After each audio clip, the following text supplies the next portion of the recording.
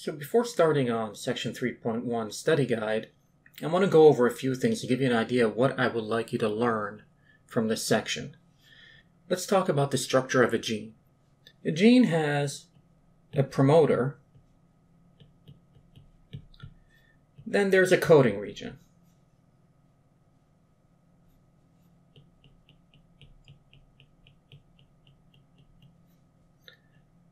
Now, the promoter is where RNA polymerase will bind to to make the messenger RNA, or at least the pre messenger RNA, which then gets processed to become the messenger RNA when the introns are removed and the exons are spliced together.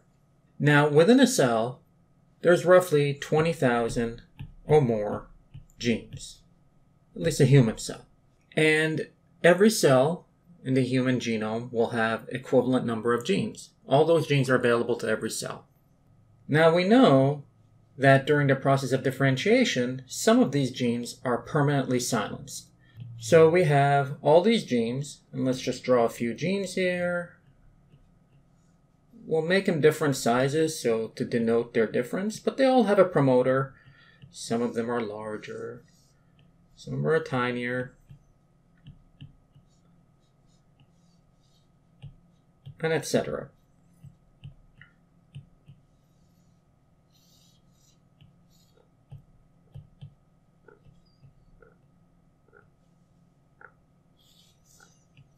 Right, and imagine 20,000 plus of these.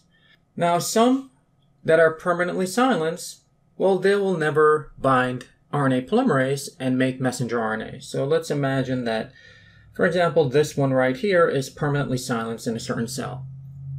In another cell, it could be available. Now, among all these genes that are available, now we have this pool of genes that are not silenced, right? Now, among the ones that are not silenced, meaning that the RNA polymerase can bind to the promoter and make messenger RNA, right? Now, within those, you have what we call housekeeping genes. These are genes that all cells express. For example, the genes that eventually lead to a product, which is a protein that is an enzyme in cellular respiration. All cells use cellular respiration. Therefore, all cells will express those enzymes. Also, you can think of certain transporters, for example, the sodium potassium pump, channels like the potassium leak channel. So, all of those would be housekeeping genes because all cells express those genes. Now, the other subset would be tissue specific genes. Now, these are the genes that make one cell type different than another. For example, a neuron from a liver cell give it a different morphology, different phenotype, and etc. Now, what makes it so that these things are even expressed, right? And that has to do with a subset of proteins that bind to the promoter or near the promoter and recruit RNA polymerase to the promoter. Because within these tissue specific genes, even housekeeping genes, some of these don't have to be expressed all the time. For example, and this is basically the topic of this section, and you have already seen this type of tr- signal transduction pathway, you have some sort of stimulus or signal coming into the cell, either an external or an internal signal that leads to some things happening within the cell that leads to a response.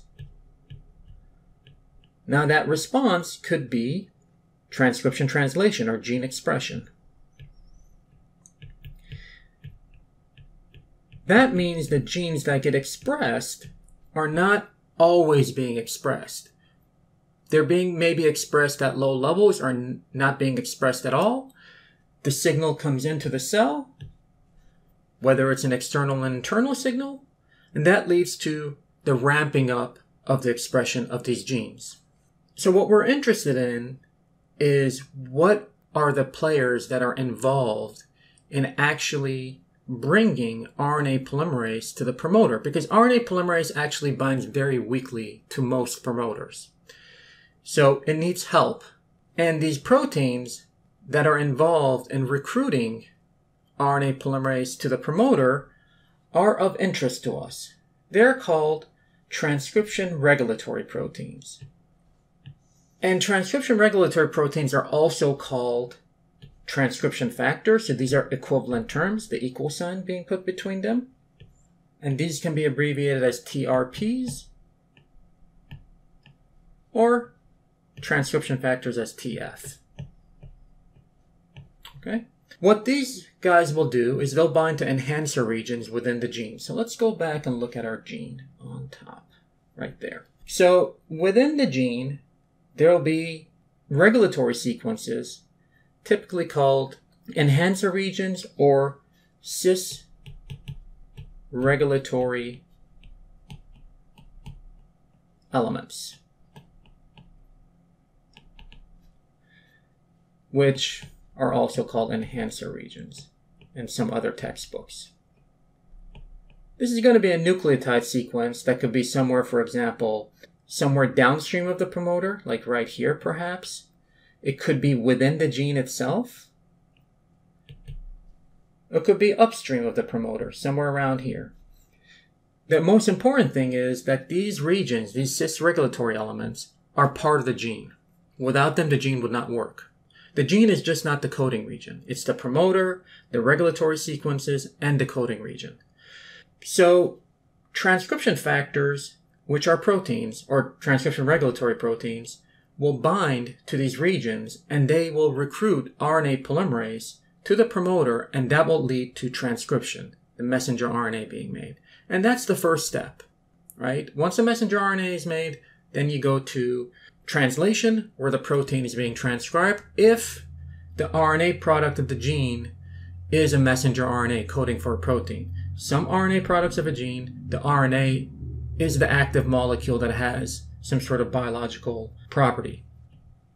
Alright, so when we're going through this section, we're just worried about this part. It's a rather short section, so we will quickly go through it. Okay, so control of gene expression. In multicellular organisms, all somatic cells are genotypically equivalent, yet different cell types in a multicellular organism can be vastly different from each other in function and form. So here we have a picture of a neuron, our nice neuron that we've been talking about for the last three weeks. And you can see a liver cell right over here. And we can agree that these two cells are very different, although they're genotypically the same. Phenotypically, extremely different.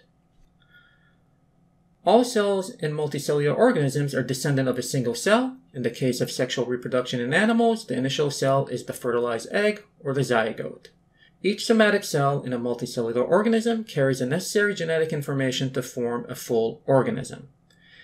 And this is what's being shown here is that depending on the animal, what you can basically do is if you take an adult cell, remove the genetic material, um, inject it into a fertilized egg while removing the genetic material in the fertilized egg and replacing it with the adult cell's chromosomes, you can eventually get an adult.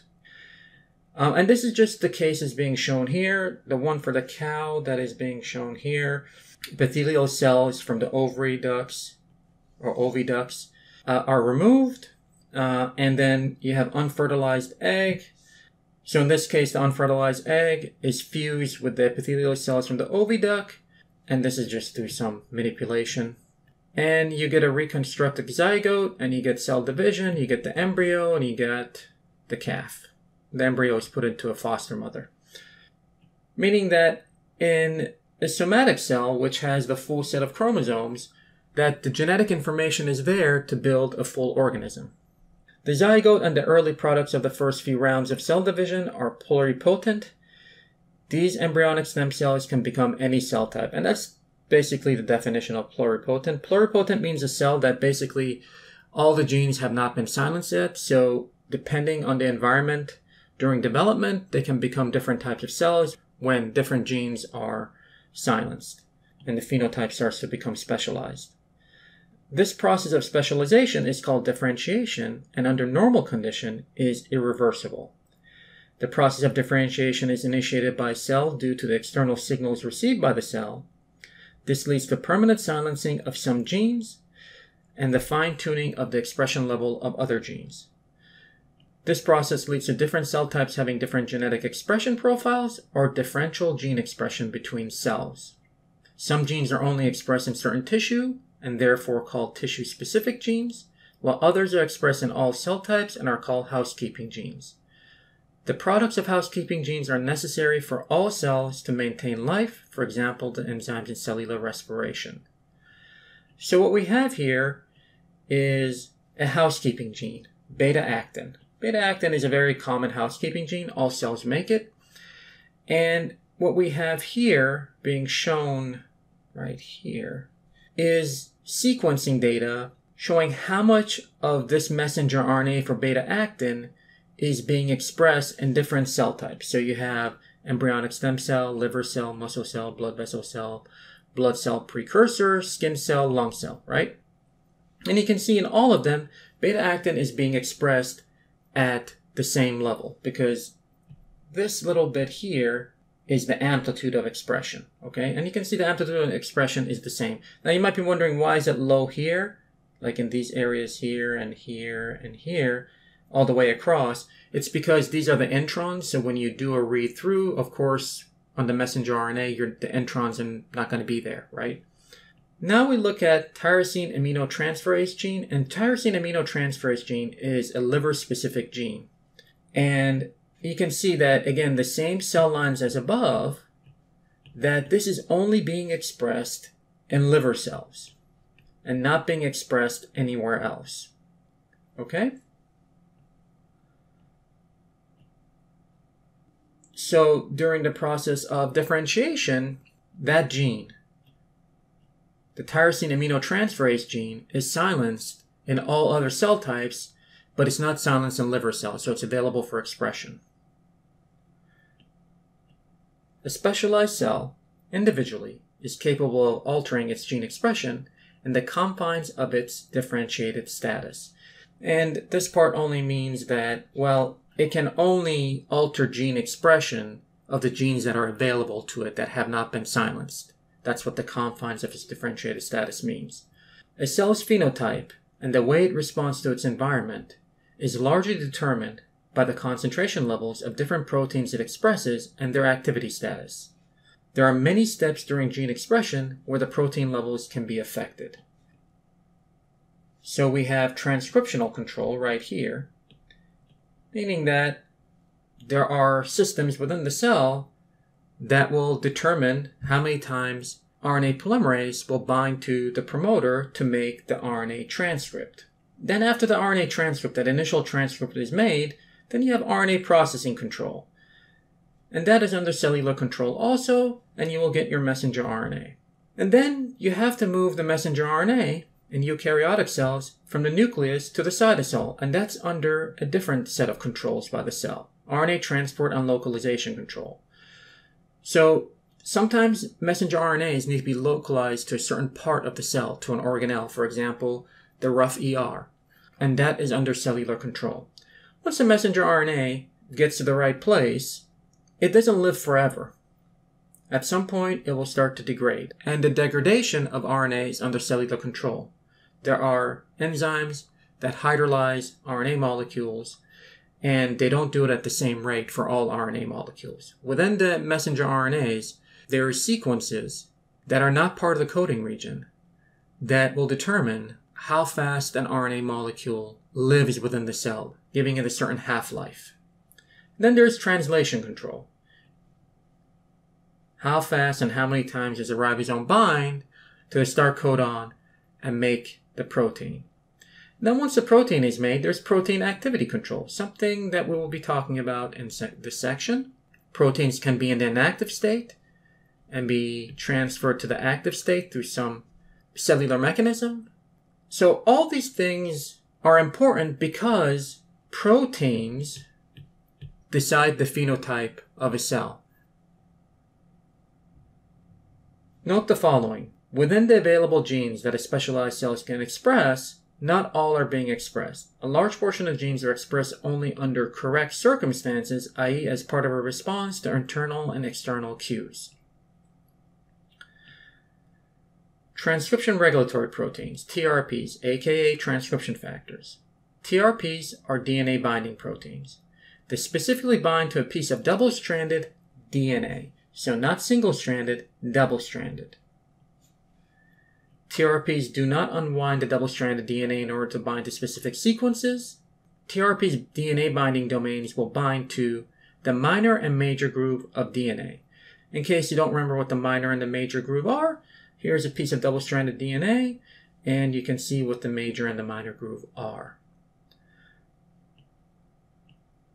There is binding information within each groove, which will be unique to the sequence of base pairs within the stretch of DNA. So all this picture is showing you, and all I'm trying to get across to you guys, is that within double-stranded DNA, in the major and the minor groove, there is sequence information. You don't have to unwind double-stranded DNA. So you can see that here we have, for example, G and C, and here we have A and T. And you can see that in the minor groove, right here, the information is different between the two. Same thing with the major groove. Basically, the information is in the form of hydrogen bonding acceptor and donating groups, okay? And you can see here with C and G and T and A, basically you're turning them around. Again, there is a difference between the sequence information and the major groove and the minor groove. And also, for example, between A and T and T and A. So if I go ahead and just get rid of all this stuff, and we can see that between T and A and A and T, that what you have is, in the major groove, it is different, right? It's kind of flipped over, so the information is different. So the DNA binding domain of these TRPs aka transcription factors, or any DNA binding protein that binds to double stranded DNA, is going to recognize and bind to the major and the minor groove specifically through these weak interactions that it can form with these hydrogen bonding acceptor and donating groups. And this is what's being shown here. A TRP's binding domain will not only have the correct form to interact with a stretch of double-stranded DNA, but also contain the correct sequence of amino acids at this domain so that it can form weak interactions with various hydrogen bonding acceptor and donating groups. So here we just have an example of a DNA binding domain of a protein and it's just giving you information of what residues on that protein, what amino acids, are binding to this sequence of double-stranded DNA and where it's binding to. This is the major groove right here, and this is the minor groove right here. And the sequence basically, and I cannot tell if it's 5 prime to 3 prime in which end, but we'll, we'll just say A start here, A, T, T, A, A, T, and of course the complementary strand will be T, A, A, T, T, A, right? And you can see, for example, all these numbers, arginine 31, arginine 53, arginine 31 means that the 31st amino acid in the protein, starting from the N terminus, is an arginine. So arginine 31. And the 53rd uh, amino acid is arginine 53. And arginine is a basic amino acid, and it's going to make an ionic bond with the sugar phosphate backbone of DNA. So that's what this is, the sugar phosphate backbone of DNA. But you can also see that, for example, isoleucine 47, arginine 3, arginine 5, these are making hydrogen bonding interactions with the minor groove, for example, here, and with the major groove, for example, with this, this, and this. These guys are making hydrogen bonding interactions with the major groove. And they're specifically recognizing certain combinations of nucleotides, base pairs, within that major groove and minor groove. A monomer of a typical TRP will recognize a run of 6 to 8 nucleotides. This 6 to 8 nucleotide sequence is sufficient to ensure that it will be unique. The sequence that TRPs bind to are also called cis regulatory elements. These are sometimes called enhancer regions in other textbooks. Cis regulatory elements are regulatory elements within a gene. The binding of a TRP to its cis regulatory element will lead to the activation of transcription or the suppression of transcription. This is dependent on whether the TRP is an activator or a suppressor of transcription. So it is not necessarily true that all TRPs will be activators of transcription. Some TRPs will actually suppress transcription. The TRP will bind to a range of closely related sequences. If I have a protein that binds to double-stranded DNA, for example, let's say my double-stranded DNA that it recognizes is A, T, C, G, T, A, right? This is six nucleotides long. And of course, the, the complementary strand would be T, A, G, C, A, T, 5 prime. Now, I don't need to write both strands out if I'm talking about a TRP binding to a certain sequence. As long as I write out one sequence, one strand sequence, then I will know the other strand se- sequence also. That, that's just going to be a given, right? So what's being shown in this picture right here is the propensity of a TRP, what sequence it will recognize. Now, for example, in position one right here, it really prefers T over C, but it will bind also if there's C, but it will bind more weakly. That's why the letter T is larger. It must have an two A's as the next two in the sequence. And this is of course 5 prime to 3 prime just in case. And then here, it really does prefer T, but it can also bind to a sequence that has two G's in the fourth and fifth position. And it prefers G over A, and it prefers C and G pretty equivalently.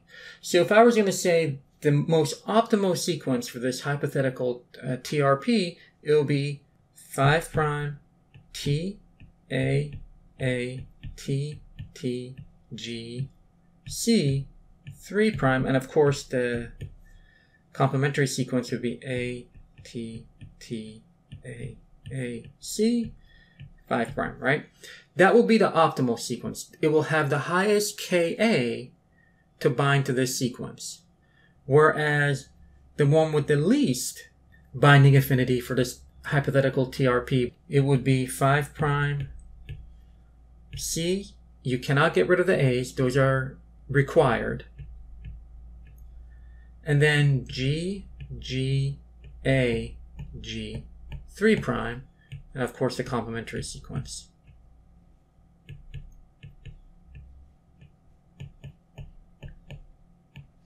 So the Ka for binding to this sequence will be the minimum.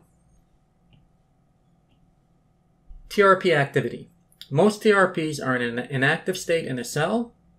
They are activated by signals the cell receives from its internal and external environment. Therefore, the activation of a TRP is a response by the cell to the changes in its environment. In differentiation, TRPs are activated, which leads to the expression of genes that maintain a specialized phenotype. The TRPs remain active for the duration of the cell's life, and if the cell goes through mitosis, the activation status is passed on to the daughter cells. This is an example of a persistent response of infinite length by cells. So we had this thing here where we're saying, okay, the cell receives some sort of signal, internal or external, or combination, that leads to a response, and that response can be gene expression. So let's go ahead and write this out with a little bit more information. So we have our signal, and this will lead to the activation of TRPs. So we have TRPs in the inactive state, and we'll put that in red and red would be inactive, and they are moved to the active state, and active would be green. And this will lead to specifically expressing genes that have the cis regulatory elements within them for this TRP. It is important to note this is not going to be an overall increase in gene expression of all genes. The TRP will be specific to either enhance, activate the transcription of a specific set of genes that have that sequence within it. Now, of course, if the TRP is a suppressor of gene expression, then those genes that have that cis regulatory element within them, transcription of those genes will be suppressed. Now, in the case of differentiation, what is happening is that the signal comes in and you get the TRPs activated that are important to maintain a differentiated status. And these TRPs go on to express genes that are important in maintaining the differentiated status of a cell. Now, when you go through cell division and you have these activated TRPs, and there's going to be some sort of positive feedback loop here to maintain this activated status. Well, the TRPs are going to be divided among the two daughter cells. So that activation status of the TRPs will be maintained because there's a positive feedback loop coming in from what is being expressed. This is very typical for dif- the differentiated status. Okay? This positive feedback loop that leads to having these TRPs be active all the time. And it's important to note that some responses are persistent, meaning that they last the lifetime of the cell, and differentiation is one of them. Because once the cell differentiates, that differentiation status remains with the cell for the rest of the life of that cell, and it can be passed on to the daughter cells. Some TRPs will form dimers prior to binding to their cis regulatory sequence, or will bind DNA as monomers and then dimerize at the DNA. And this is actually very powerful because what it leads to is that, for example, we have two different TRPs here, the one in the green and one in the blue.